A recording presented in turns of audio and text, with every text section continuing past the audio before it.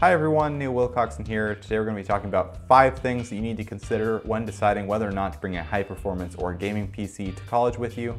Hopefully this video will help you make your decision, so let's go ahead and get started.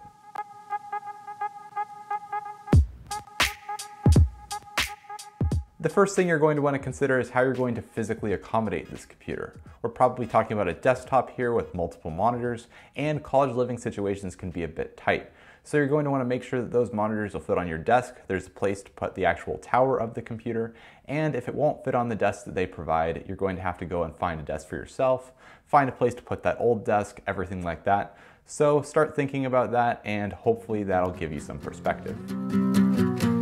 The second thing you're going to want to consider is money, and this can take all sorts of different directions depending on your situation.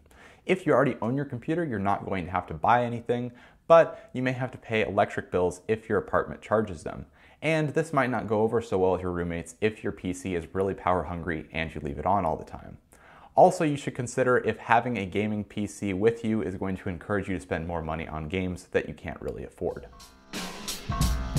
The third thing you're going to want to consider is the availability of other PCs. This might not apply so much to people who are using their PCs for gaming, but if you're using it for video editing like I would be, you may have other PCs available on campus to use for that, and they might have software that's much higher level than anything you're able to afford. So that's definitely something to look into.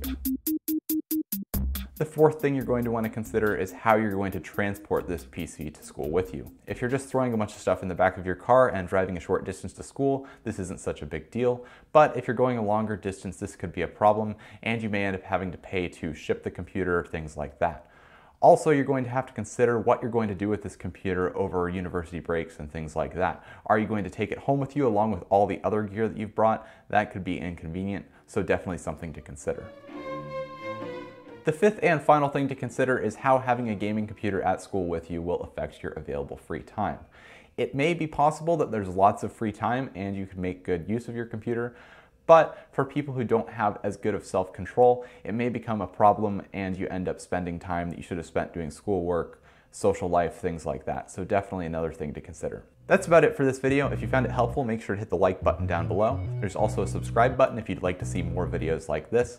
Thank you guys so much for watching. I'll see you again soon.